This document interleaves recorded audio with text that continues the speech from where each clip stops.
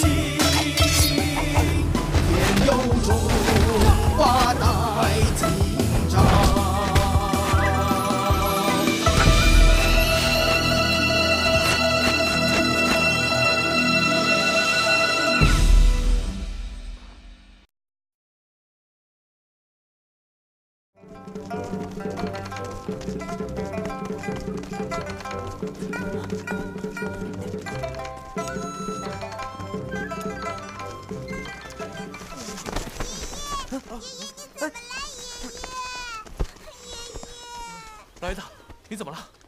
我们我们是逃难来到这里的。爷爷爷爷已经好几天没吃东西了，他把吃的都给我了。哥哥，求求你们救救我爷爷吧！你们那有吃的吗？生米就生米，总比饿着强啊！住手！呃是你？你来干什么？王之玉，你现在在考试期间，如果你把这米包打开，后果不堪设想。我考不考试关你屁事啊！如果我们见死不救，还做什么佛门弟子啊？如果因为这件事情考试不过关的话，这么没人情味的地方，我们还懒得待呢。世玉，你怎么还是这么冲动啊？啊，你能不能容我把话讲完你再说啊？大师，现在不是讲道理的时候，等你把话说完，老爷子他都……就是，哎呀，爷爷，来，谢谢爷爷，来，哎，记住啊，要一小口一小口的给爷爷吃啊。慢点吃啊，老人家。冯俊，我告诉你，考试就是考试，规矩就是规矩。哼我不懂那么多规矩，我就知道，如果见死不救，我方世玉绝对做不到。哎呀，哎，世玉，你要救人没错，你要看看现在的情况而言。哎，你看看这老人，他这是饿了几天了，他的胃已经受到了损伤。你现在把生米给他吃，一定是雪上加霜。你这样做不但救不了他，还害了你自己。哎，你这样做何苦来哉呀？还愣着做什么？他们全部都没人了，哎，还不快走啊！走啊！哎呀，快走啊！哎，救人一命胜造七级浮屠，还要你们给我讲啊？快走啊！走吧。哎，嗯，难道那玉米里真的有迷药？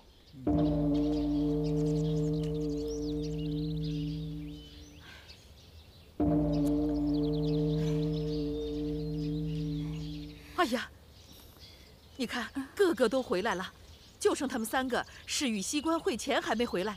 你看看看，这香都快烧完了。快烧完了，就是还没有烧完。师姐，你别太担心，我相信诗雨他们一定能赶回来的。师叔，这香就快烧完了。还差几个人呢？哦，还差方世玉、胡慧乾、洪熙官三个人。看样子他们三个是赶不回来。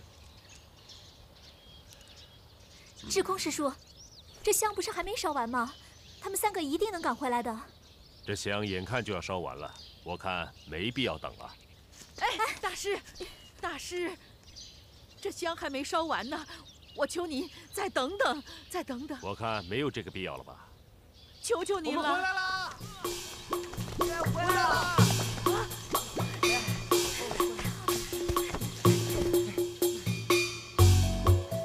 借陈借色，带他们去验米包。如果重量不减的话，就收下他们了。是是师叔。我们成功了！这下好了，你们三个人都考上素人别院了。哎呀，这可得多谢师太您的大恩大德了。谢我？谢我什么呀？谢谢您啊，帮无双姑娘抄经文。你以为我没看出来啊？你知道进素人别院呢，就一定会考墨经文的。所以呢，你也知道，我们离开之前一定呢会帮无双姑娘抄经文的。你还知道，这么重罚无双姑娘，我方世玉心里肯定会不安，一定会去找无双姑娘解释。解释完之后呢，我们就一定会化干戈为玉帛，化乱石为玉佛。不管怎么说，您都是为了我们三个人能够顺利的考进素人别院。反正做的这一切啊，师太您是心知肚明，我说的没错吧？世玉啊，这次你进素人别院，一定要勤加练习，尽快的把洗髓经学到手，再加上三德的调理，彻底排除你体内的淤毒，也不辜负你娘这么辛苦的参禅打坐呀。哦，对了，世玉啊，这素人别院可是讲规矩的地方，你去了以后，可不能再任性胡闹、肆意妄为了呀。明白了，知道，知道了，明白。哦，还有你们两个人，师傅领进门，修行在个人。这次你们俩能够和世玉一起考上素人别院，这也算是你们三个人的福分。嗯，今后能不能成才，就要看你们自己的努力了。我们一定谨记师太教诲，勤加练习，请师太放心。翠花，明天他们三个就要进素人别院修行了。你心里的那块石头也该放下了吧？是啊，总算是功德圆满。我算算这日子也差不多了。明天呢，我送他们三个上山以后啊，我就回杭州去了。师姐，你这么快就走了？是啊，我和世玉他们在这里打扰师叔、打扰小师妹也有些日子了。他们上了山，我在这里也没什么用。算了算。世玉他爹，我姥爷过两天也回杭州了，所以呢，我也准备回杭州去了。哎，阿花，嗯，我觉得你是应该回去了，不然你想想看，你的老公，我的老爹，最近刚刚经历了丧子之痛，你呢，作为夫人又不在身边，万一寂寞难耐，嗯，随便找个人聊以慰藉，那就惨喽。呸！什么丧子之痛啊？什么聊以慰藉呀？我告诉你啊，你进了素人别院之后啊，要管好你这张嘴。要是得罪了至善大师，把你赶出来，我看你怎么办呢？拿花，你用不用走之前把我的嘴缝起来啊？最好了，加把锁啊，就加一把祖传的同心锁。哦，对了，你现在这么风光，考上了素人别院。我回去告诉老爷，他一定会高兴死的。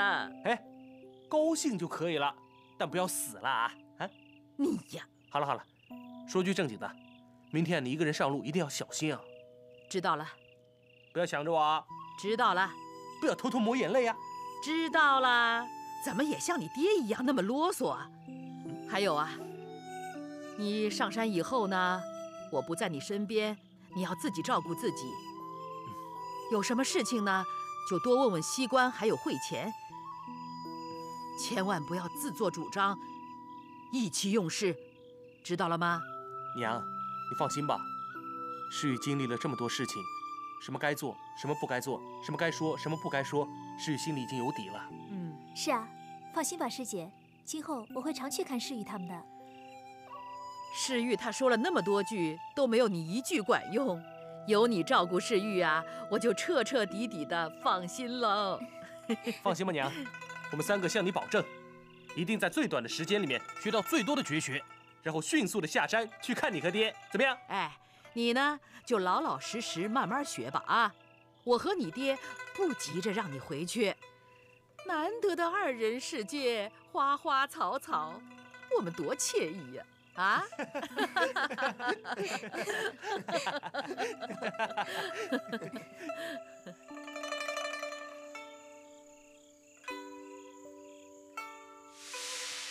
再给你吧。小姐你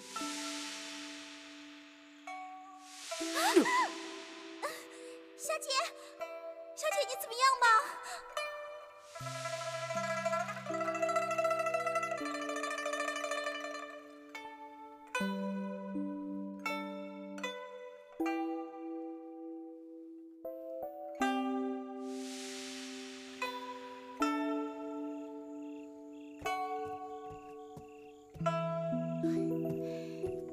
习官，啊，方夫人，明天我就回杭州了，你要不要写封信什么的，或者有什么东西我帮你带回去啊？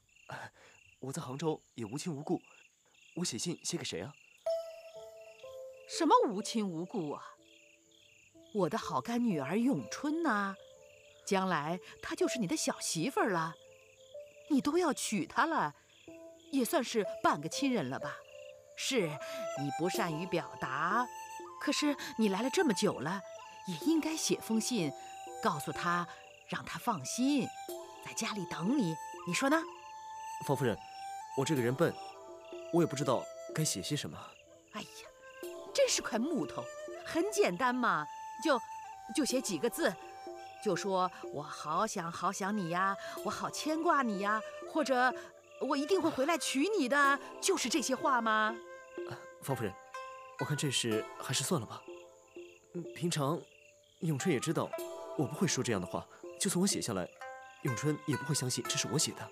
要不然，还是别写了吧。啊，那好吧，你不写就说给我听吧，我见到永春就说给他听，这样总行了吧？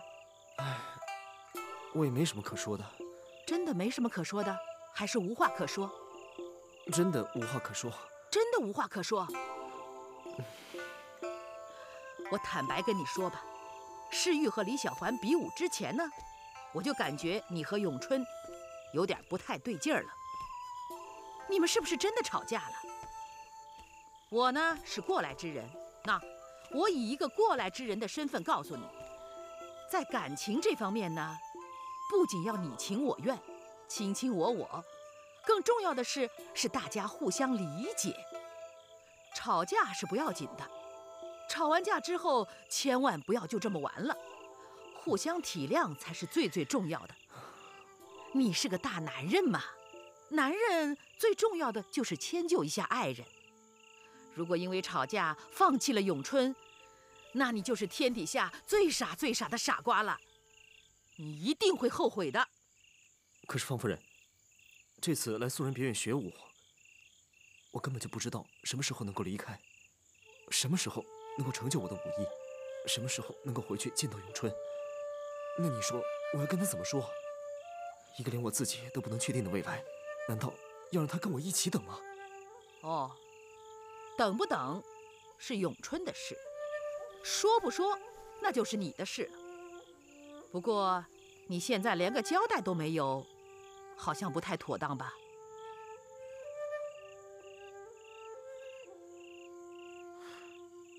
方夫人，那你这次回杭州，帮我跟咏春带句话吧。嗯，您就说，如果他以后遇到一个对他非常非常非常非常好的人，那么，那么就让他不要再等我了。我祝福他。习官，你中邪了。方夫人，我困了，先回去睡了。明天还要赶路呢，你也早点休息吧。晚安。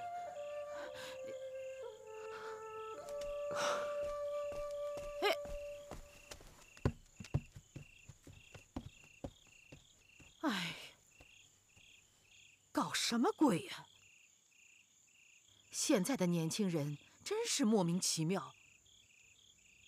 这个木头，真是气死我了！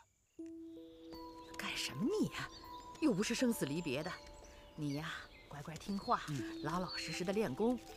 我和你爹呢，有空会来看你的，知不知道啊？知道了。好了好了好了好了，就送到这里吧。来，把包袱给我。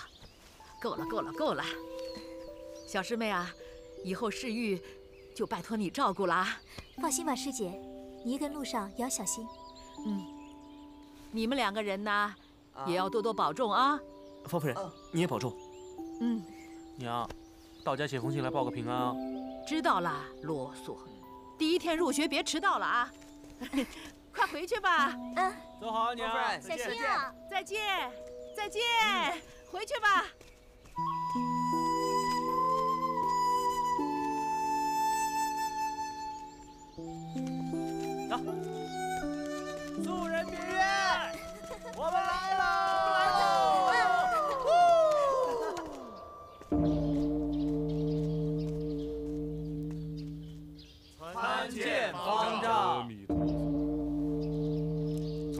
今天开始，各位就正式成为我西禅寺素人别院的弟子了。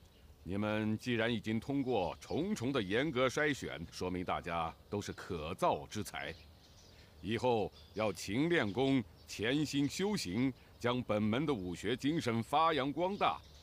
我西禅寺乃清修之地，素人别院虽然是俗家弟子修行的所在，但是一定要遵循清规戒律。以后你们要谨遵智空师叔的教诲，切不可肆意妄为，坏我门规。大家知道了吗？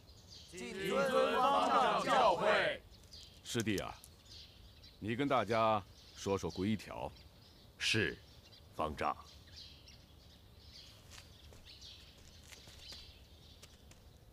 大家都听好，本门武学的宗旨是强身健体，绝对不可以用来好勇斗狠，更不可用来取人性命。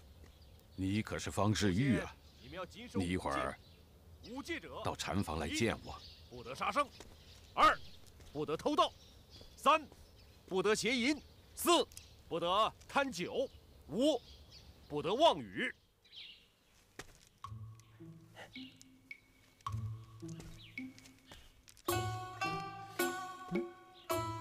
方丈，我方世玉来了。嗯，你不会假装念经在睡觉吧？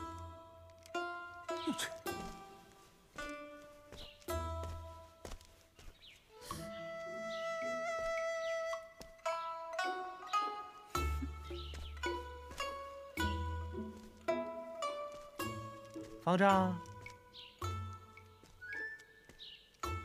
嘿，方丈，真的睡觉啊？啊，方丈，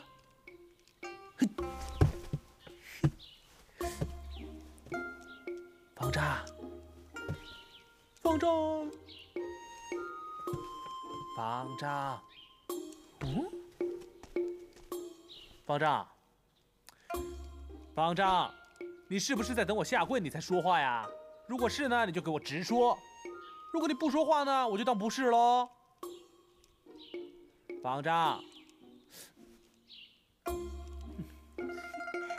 方丈，啊啊啊！果然是内息不调，经脉不畅，的确是被李小环追命鸳鸯腿所伤啊。这方丈啊，果然是方丈。随便这么弄两下，就知道我方世玉受了什么伤，而且还知道是被什么人所伤。我方世玉啊，真是佩服的五体投地啊，不是全体投地呀！非也非也，无眉师太已经把你的情况都告诉我了。嗯，我只不过是确认一下你恢复到几成了而已。啊，原来是这么回事啊！既然方丈都明白了，那我就省去了很多曲折了。哎，方丈。赶紧把洗髓经交给我，让我赶紧练功恢复吧。洗髓经乃本门绝学之一，我怎么能贸然传授给你呢？啊！哎呀，大师，你也知道，救人一命胜造七级浮屠，这么简单的道理，你应该知道的吧？你怎么能见死不救呢？我没说不救你呀，你已经是本门弟子，需要的。只是时间而已，这机缘一到，你自然就可以学到洗髓经。其实学习洗髓经，它跟学习其他武功一样，需要循序渐进。你要打好根基，熟悉心法，嗯，这样就会事半功倍了。还有，你要和三德师兄好好配合调制，这样。就可以尽快的提高你学习的效率了。我明白了，方丈迟早会教我洗髓经的，但是迟是早就要看我方世玉本人了，对不对啊？悟性还不错，多谢方丈提点。阿弥陀佛。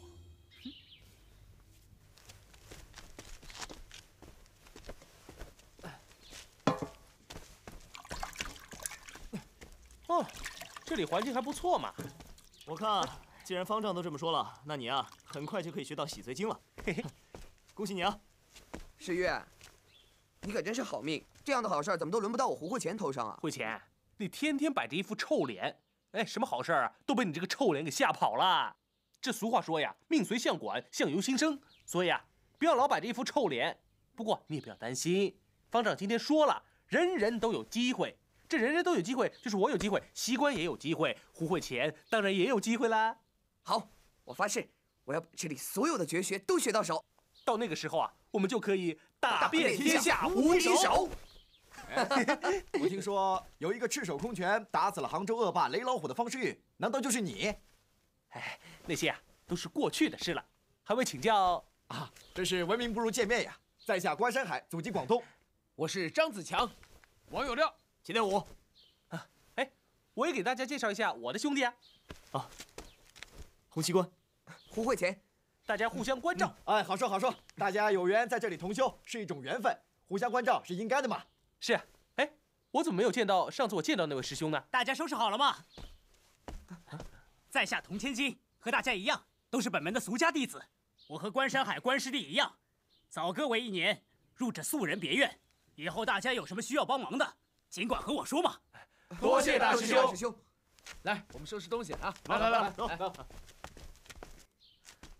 来，嗯嗯，让我们大干一场。好，都安排好了。回介陈师叔，全部都安顿好了。你们听着，素人别院虽为俗家弟子所在。但也属纪纲司管辖，所以请你们最好恪守规条。若有违反者，一律交由纪纲司惩戒，绝不留情。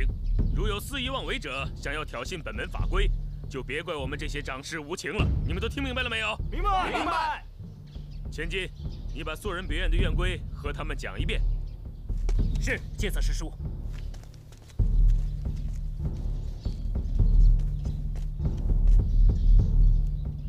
各位师弟，请大家听好了，《素人别院院规》第一条：每日早睡早起，恪守时间；每日早课晚课，不得迟到早退。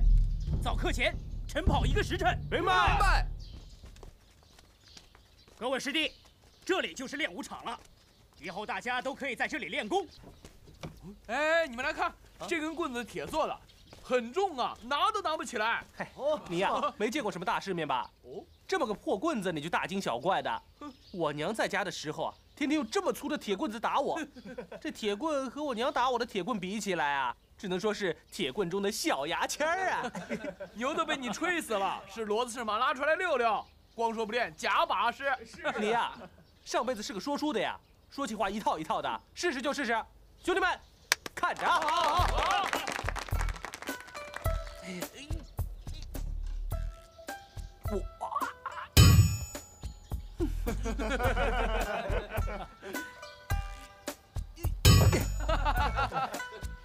还是蛮重的，是不好拿。算了算了，还是我来吧，我和他是老朋友了。好啊。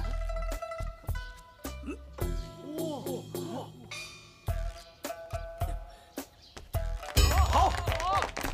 大师兄，既然你们是老朋友，那你一定能耍得起来，给我们露两手吧？啊？算了吧，习武只是为了强身健体，不是用来卖弄的。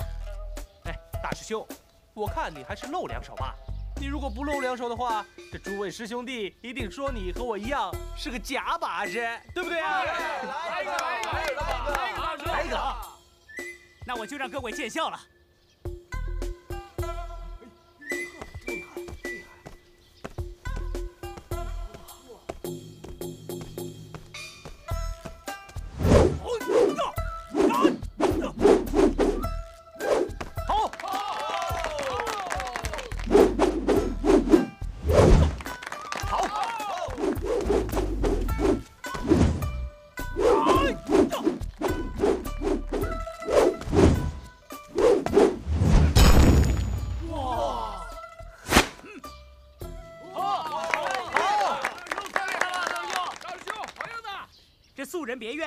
已经带大家参观过了，大家赶紧回去洗漱一下，晚上还有晚课呢。大师兄，你刚才耍的那套是什么棍法？这么厉害，把石头都给震碎了。其实啊，那根棍子是我瞎舞的，没什么棍法。大师兄，你是不是有什么心法啊？你教教我们嘛。对，教教教教教教教教教教。我只是天生臂力过人而已，我要会什么心法，早就去打十八铜人阵了。十八铜人阵，干什么的？你没听说吗？凡是入门的弟子想要下山，必须要通过十八铜人阵，只有过了十八铜人阵，才能表明学有所成，这样才可以下山。其实这十八铜人阵有两个作用，一是为了防止你们这些弟子私自下山，有辱本门威望；二来是抵御外来侵犯。所以这十八铜人阵啊，想闯出去没这么容易，必须要潜心修炼才行，知道吗？一定要过了十八铜人阵才可以下山吗？这么说来，以我这基础，那岂不是要很多年了？哎，大师兄，那除了闯铜人阵之外，还有什么办法可以下山呢？哎，不是习武的武僧下山倒是可以的，就像伙房的三德师叔那样。不过下山前必须要有时间和日期的规定，这样才行。还有一种就是违反了本门戒律的人，不过他们在被逐前必须要废除其武功，这也算是下山的一种。另外，我听说以前有个师兄来这里几十年了，一直无法闯出铜人阵呢。最后郁郁而终，师兄们把他的遗体抬回了老家安葬，以完成他最后的心愿。还有就是，算了算了，时间不早了，大家赶紧回去吧。啊，回去吧。好好好，回去，回去。哎呦，完喽！看样子我这辈子也别回去喽。阿弥陀佛。爹，亲叔孩儿不孝。看样子，恐怕我今生今世都……喂，我听说啊，有人用了不到五年的时间，就顺利的闯出了这十八铜人阵了。你又在编故事骗我。你知道这什么地方？这是佛门禁地，出家人不打诳语，否则啊会遭报应的。我怎么会骗你呢？是是谁呀？嘿，这个人呐，我们大家全都很熟悉的，他就是我外公。他的武功你也见过了，了不得吧？慧浅。事在人为，只要我们有恒心、有毅力，就一定能够闯出这个十八铜人阵。甭说十八铜人阵了，就是八十铜人阵，我们也照闯不误。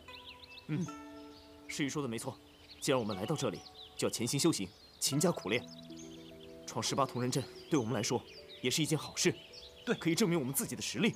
我们要抱着破釜沉舟的心态，就一定要把它做好。不闯十八铜人阵，绝不下山。是，好，好了。赶紧回去休息吧。嗯，走。嗯，走。哎，嗯。哎，石宇，刚才说的是真的吗？苗老前辈用了不到五年时间就闯了十八铜人阵，这话你也相信？我是骗那个傻小子的。你想想看，你又不是不了解我外公，他是个守规矩的人吗？他什么时候守过规矩啊？嘿，我也不骗那个小子。今天晚上咱们俩甭想睡觉了，非被他搅得失眠不可。不过呢，话又说回来，我也真想我们三个能够在五年之内闯出十八铜人阵，然后一起下山行侠仗义，怎么样？洪大侠，好，方大侠，好，走走。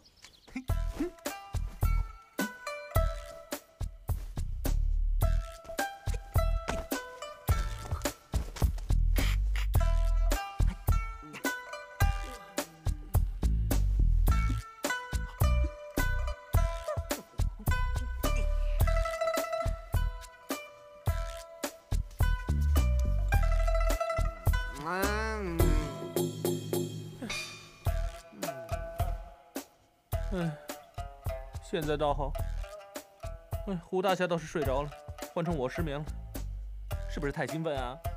怎么就睡不着呢？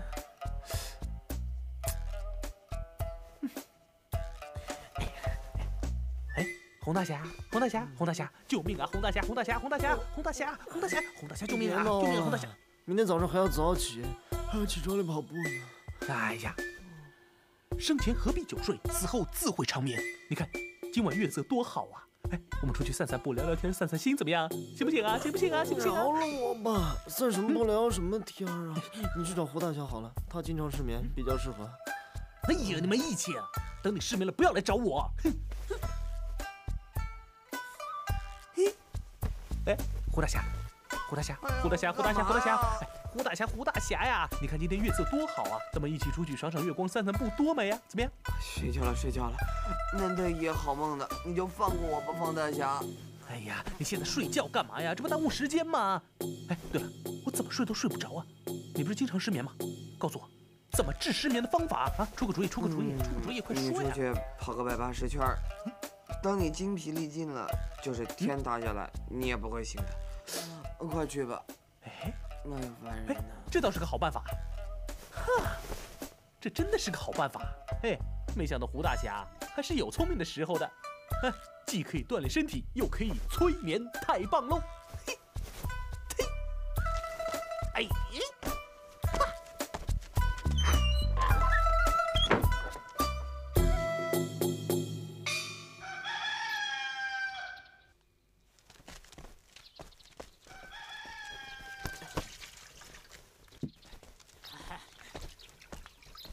各位师弟早安！呃大师兄早大家洗漱好了，就到院子里集合吧。快点啊！好好好。师爷，师爷，起床了。师爷，方世玉，我靠，嗯，知道了，明白，明白了，知道。那我们走了，那你快点啊！哎，走，快走吧。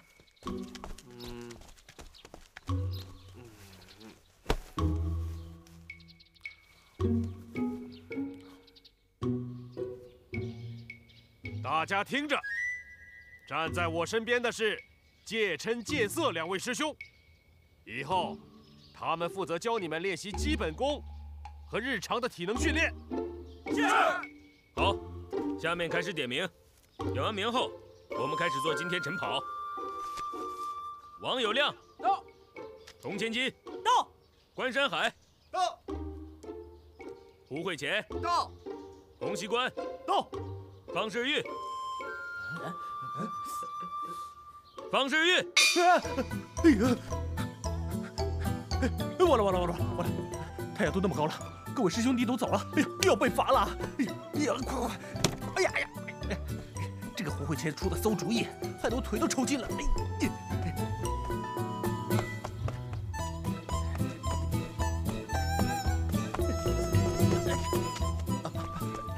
智空师叔早，早什么早？还不快去给我跟上！呃，是是是。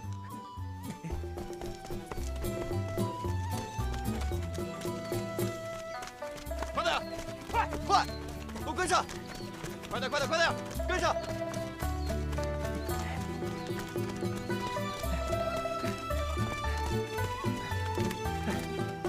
世玉，世玉，世玉，世玉，没事吧？要不要我帮你背一会儿？哎，不用，你们先走吧，免得被我连累了，一起受罚啊！不行，石玉，不能丢下你啊！是啊，我们是好兄弟，有福同享，有难同当。干嘛呢？不跑！方世玉违反了借条，就是要受严惩。你们俩要是想帮他，不但要连累你们自己，而且方世玉还要加倍的严惩。好了，你们快走吧，快点！我可以的，我真的可以的。走吧，走吧，啊，走吧。那你小心点啊！去吧，走走。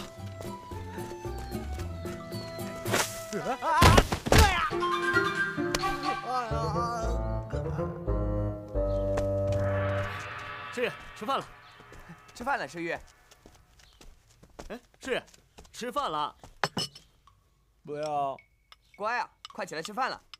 不要吃，男子汉大丈夫，说不吃就不吃。哎呀，这怎么行呢？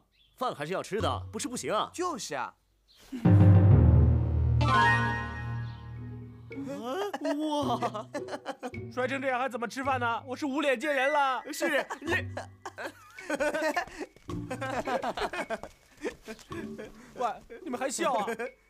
有没有人性啊？我都这样了，你们还笑？哎，有有有，不然我干嘛端饭给你吃啊？是啊。来来来，我喂你啊。啊，还笑？这下我真的不吃了。来，哎呀，好了好了，来，不笑不笑。嗯，来啊，不笑不笑。吃饭吃饭吃饭。啊，好吃吧？哎，不是吧，方世玉你在干嘛？你看你，哎，你的脸是被驴踢了还是被猪拱了？你吃你吃，我们走了走了走了。哎呀，好了，别理他们，来吃饭。呃，嗯嗯，我发誓再也不知道，再也不受罚了。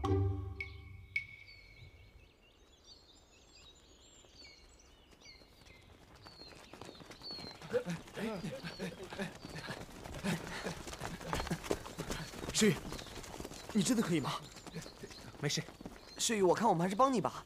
不用了。士官，洪慧乾，你们在干什么？志空师叔，你们还不跟上队伍？是不是要我再说一次帮助方世玉的后果？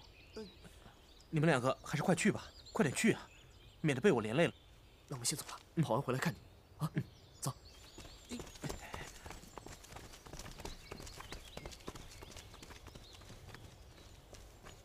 方世玉，你这是教而不善，百教不改啊！昨天迟到，今天你又迟到，看来不这样重重罚你，你是记不住吧？解琛，在师叔，给我好好的看住方世玉，这三炷香不烧完，不准他离开。啊，三炷香。嗯，是师叔。嗯。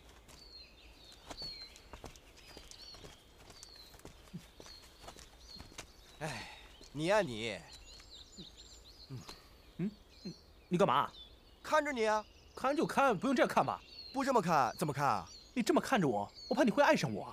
就是爱上你，我也要这样看着你。你呀，从报名开始就不老实。我好好看着你，谁知道你又耍出什么花样来？看就看喽，我又不怕被你看。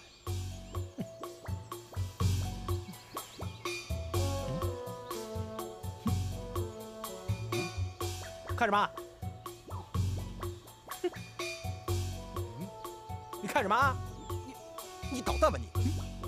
嗯嗯嗯嗯，接着装啊！不看了吧？接着装。嘿。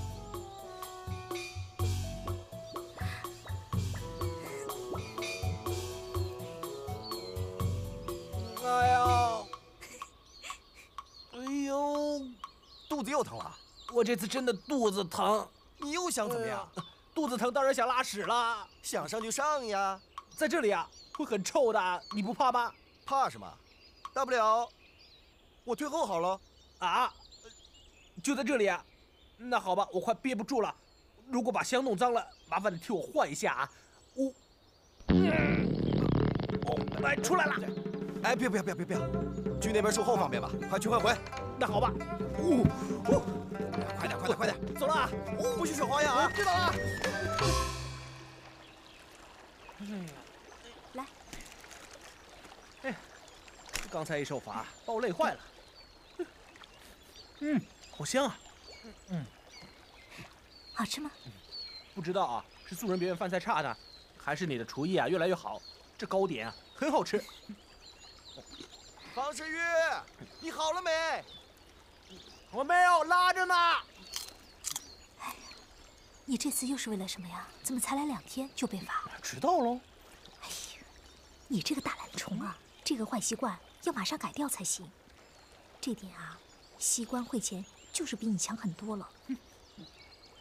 我呀，才不是偷懒呢，我是故意迟到。我是方世玉，我要跟别人与众不同，要特别一点嘛。是是是。你是特别特别的懒，特别的油嘴滑舌。嘿嘿，喂呀，我看这个智空和尚，这脑袋里面装的全都是大便，永远装的是怎么惩罚弟子的变态玩意儿。他呀，比我爹还变态呢。我看呀，不是什么智空，应该叫智障，专门给我们制造障碍的智障。话可不能这么说。智空师叔，他也不是只针对你一个人，谁让你犯戒了呀？他一向都是严明，不苟言笑，所以啊，你下次还是注意点，少犯错才行。好，我今天对着这糕点，保证我方世玉从今以后再也不会栽在智空和尚手里。方世玉，你好了没有啊？快好了。正拉着呢，半炷香时间就好了。你能这么想就最好了。啊我呢要先回去了，三德师兄让我带点菜。嗯，你吃完赶紧回去吧，别让介琛师兄为难了啊。好，你去吧。谢谢无双。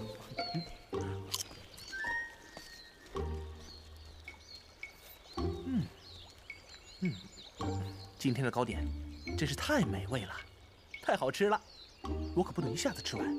我要坐在这里，慢慢的品尝，慢慢的享受，让那个傻子等吧。嗯，喂啊啊啊！疼疼啊！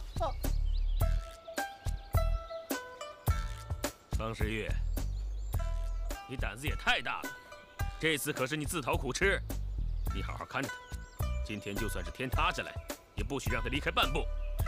要是被师叔知道了，我们两个都得被牵连。知道了，师兄。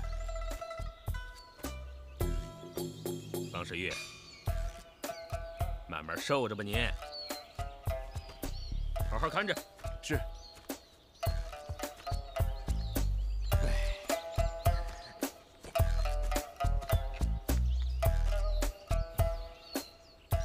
方世玉，我好心让你去方便，你当我是傻子啊你？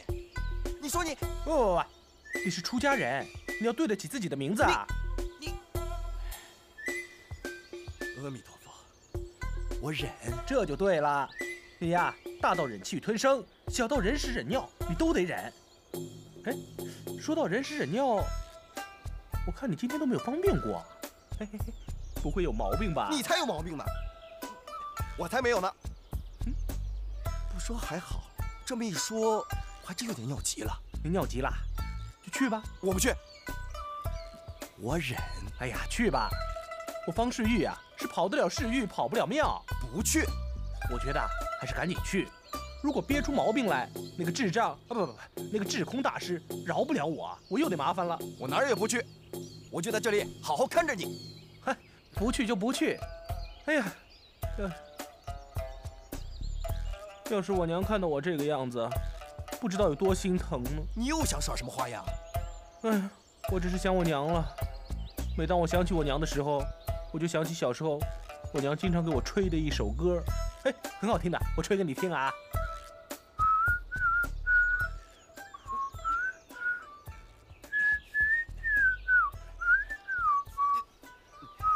哎哎哎，不要吹了，不要吹了，不要停！不要停是吧？那我继续吹啊。这，哎呀，你给我闭嘴！不要吹了！我想我娘，我要吹；我想我娘，我要吹。方世玉，你给我等着！哈哈哈哈哈哈！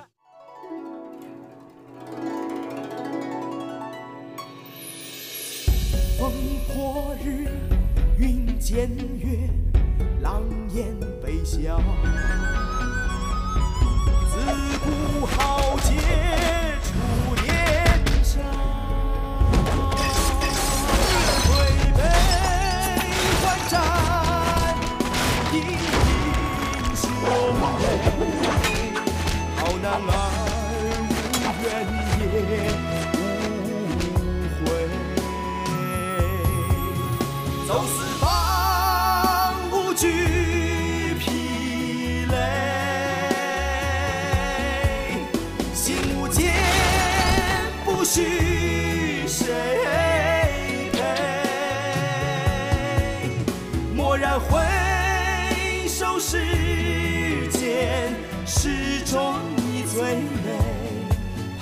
来生花蝶永相随。